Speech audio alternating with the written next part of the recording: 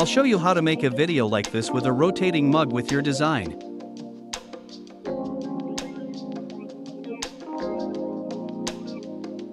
To do this, I need Adobe Photoshop CS4 or higher and animated PSD mockup from the Mug Mockups bundle by Rebrandy.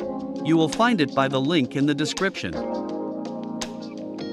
This bundle contains a total of 36 mockups with 18 mug shapes and 2 viewing angles. With it, you can add your own design, change the handle and inner colors, and export animations directly from Photoshop. Get 36 animated mockups with 50% discount for just $15 using promo code MUG50. I'll leave a promo code in the description. If you want to try it for free you can register on rebrandy.net and download free glass mug animated mockup here. Check the link in the description. I'm using a mockup of 11 ounce mug. Open the timeline panel to work with this animated mockup. To insert the design I will open the smart object double click to open. Then I'll also click on the smart object with the same name. Let's change the mug's color using a color layer. Here I'll turn on the visibility of the shape folder so I can see the front and back of the mug.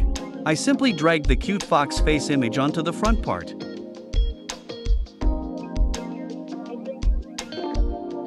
Then I drag and place the design for the backside.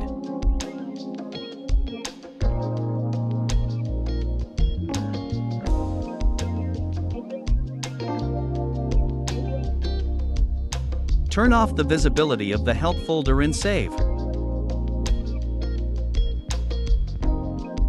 Also save the previous smart object.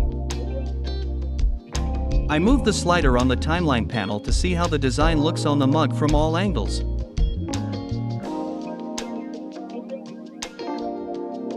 Let's change the color for the handle in the Elements Color folder to orange, like the body of the mug.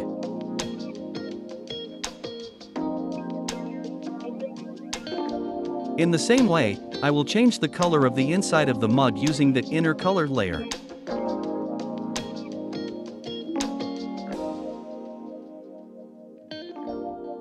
Then I adjust the glossiness of the mug, I want to make it more glossy using the effects folder. The highlights layer is responsible for the highlights on the mug. And the shadows layer is for enhancing the dark areas.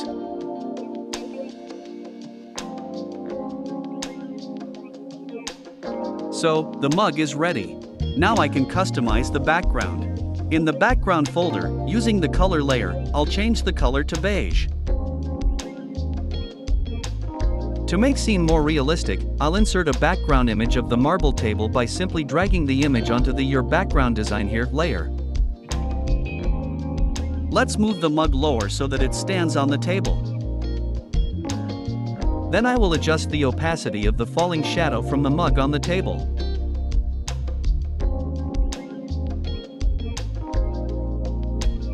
I move the slider in the timeline panel to see if the duration of the inserted background matches the length of the mug animation. Indeed, the duration does not correspond. I'll fix it now. Now the scene with the mug is ready. All that's left to do is export the animation. Go to the top panel. File. Export. Render video. Check the export settings and click Render. Wait a bit. Let's see the exported animation.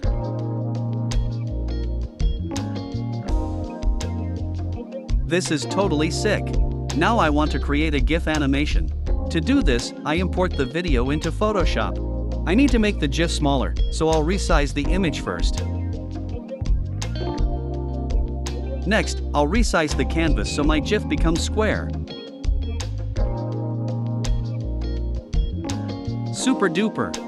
Now let's export the GIF. Go to the top menu, File, Export, Save for Web. I'll check the animation and save it.